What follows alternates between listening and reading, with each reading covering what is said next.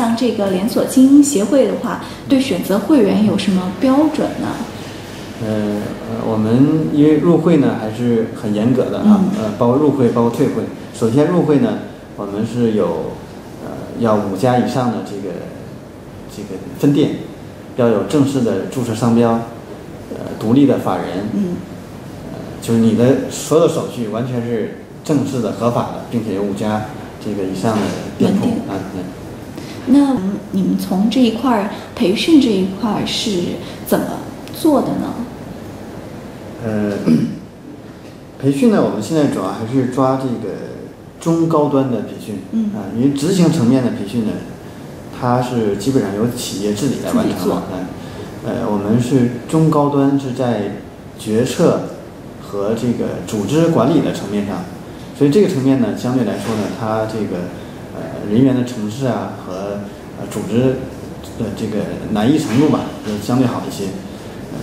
那我们的。应该说，如果说服务的话，就是第一，我们是有证书啊，我们给他发中国连锁经营协会呃的一个证书啊，比如说品类管理师啊，或者是这个优秀店长啊啊，或者叫什么什么店长，就类似于这样的一些证书。这呃，其他的呢，我们可能就是在系列方面我们会更侧重一些，比如说因为比如做店长，他会有很多个环节，那我们会把这个系列做好啊，开始店长的。营运管理呀，店长的人力管理呀，店长的呃这个商品啊和在整个结构中的这个环节中的它的这个流程上的管理呀啊，我们把这个系列化做的还比较比较好。因为像美国这一块儿有比较多的大学里面会设置零售研究中心，那但是呃从国内来讲，对人力资源这一呃行业的培训，应该是说。呃，处于一个呃成长的一个阶段，您怎么看待这个未来的一个在人员培训上的一个发展的前景呢？从将来的前景来看呢，我觉得第三方的这种培训会还是会越来越多一些。嗯，第三方的或就外边专门培训机构，而且这种培训呢，可能这个两极化会更。明显一些，比如高端的培训，花三十万、五十万去上一个呃什么专门的零售的 EMBA 呀，这这一类的，价格非常高的这一类的，现在像清华呀，很多中欧啊，我们很多的会员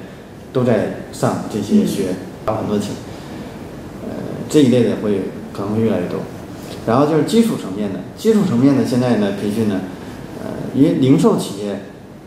这个基层人员的流失率非常大，百分之三十到百分之四十。企业的培训呢是成本上是非常不划算的，他花了很多时间培训，没多长时间这个人离开了。所以现在呢，呃，从无论是企业还是从政府的角度，都觉得要加强公共的这种呃基层人员的培训，比如收银员，比如说这个啊理货员哈，简单的这些人，那他们。通过一个公共的机构拿到培训证书之后，他可以到任何一个企业去上岗，去了他就可以马上可以上手，可以做的不错，而不需要零售企业还要实习三个月，培训一段时间再做。啊，这个这样通过公共的培训机构来培训呢，整个社会的成本也是会降低很多，效率会提高。是不是可以理解说，零售行业这一块它的利润率？越来越薄，越来越薄呢？呃，这是从政策的角度哈，从从政策带来的成本的影响。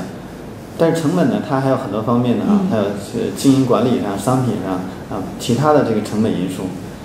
呃，总体上看呢，其实这几年这个毛利水平是在略有提高的啊，略有提高。对，毛利水平略有提高，因为管理水平在提高嘛。呃这个经营能力、规模在提高，采购的呃能力，采购的价格在降低，所以。据您了解，有哪些拓展的合作模式？比如说是直营，还是选择代理商，还是什么样的方式呢？呃，现在呢，应该主要就是三种模式，一种呢是直营啊，呃，他自己去开店，自己派人；第二种就是加盟，呃，交交一定的费用。呃你使用我的品牌，啊，我给你提供全部的这个管理的支持。第三种，这个我们叫志愿连锁，啊，比如像呃美国 IGA，啊，欧洲还有 SPAR 啊，这类这两个全球的志愿连锁组织现在都在中国已经有很多成员，那他们可以呃这个不同的企业之间结成这个联盟关系，然后大家共用一个品牌，然后共同的来采购，提高采购规模。呃进行这个业务探讨，基本上是这三种模式。您认为这个直营和呃加盟商这两个应该是目前的一个占主导地位的一个？您能说说两个的用好处和嗯不好的地方吗？呃，先说加盟呢，它最大的好处哈，但是对加盟者对于加盟商都是不一样的。对于呃加盟商来说，就是呃这个呃。叫 franchise 啊，franchise 这个来说呢，那我可以呃比较短的时间内扩大我的规模，在这个呃花费比较少的这个财力的情况，因为所有的店都是加加盟者开的啊，分店都是我花的比较小的财力，然后呢也是扩大品牌的效应，呃，其实主要还主要是这几个方面吧哈。但是对于直营来说呢，呃，这个成本投入呢就会比较大啊。所有店都是我自己要花钱，自己我要去管，这个成本投入很大。呃，但是虽然我自己投入大呢，但是我管理会有更更有效率，因为我自己的店呢，我会告诉他做什么，他就要做什么，他会很管理非常直接，非常有效率。城市，尤其是一线城市，他从加盟商的手里，呃，收回了品牌的运营管理权。那您觉得这个趋势是不是未来也会发展到二线、三线城市呢？因为加盟呢，整个在中国的这个市场的这个氛围还不是很成熟。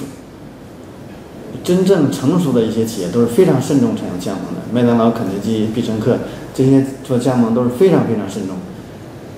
一两千个店里面也就只有几家是加盟，所以整个市场氛围呢还不是很成熟的。呃，如果说一个企业它为了很快速的扩张、快速的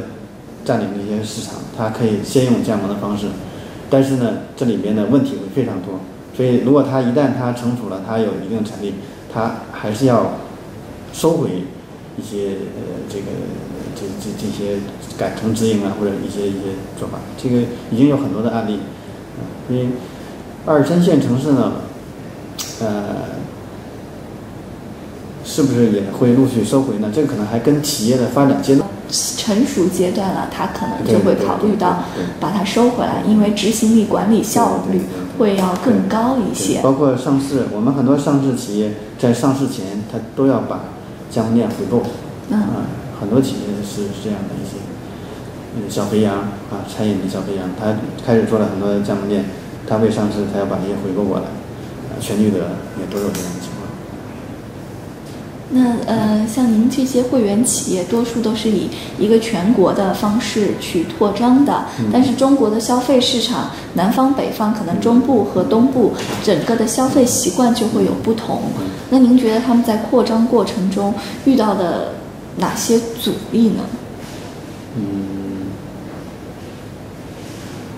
扩张的阻力，因为这个，我觉得，呃。其实主要这个还是来于自身，就自身的能力的问题。比如说我的投资的，我开一大卖场可能要五千万，我有没有这么多资金投入？第二呢，我人员能不能配得上？我们很多内资企业开大卖场，以前往往要快开业了，店长还没有合适的店长还没有，所以要先从家乐福、沃尔玛先去挖一个人过来。还有比如我们的供应链、物流，你这些你去。有没有达到应该有的水平？这个阻力可能更多的是自身的这个能力的限制。外界你没有什么阻力，你只要看中了这个地方，然后呢，手续也不会很复杂，你按要求办。你刚才问了一个，就是说那个国家现在对这个选址有新的法律，很快就出来。那现在目前是这个零售业可以自己选，地方，对吧？在城市里。那以后呢？是呃，以后呢，呃，要根据不同的面积、不同的区域，啊，要市场要开听证会，要听这个呃整个呃这个竞争对手啊、呃管理机构啊、消费者的意见，呃，然后还有一些硬性的规定，比如多少米范围内不能你不能再开同样的店呀。嗯。所以可能不不集中于在一个地方。对对对。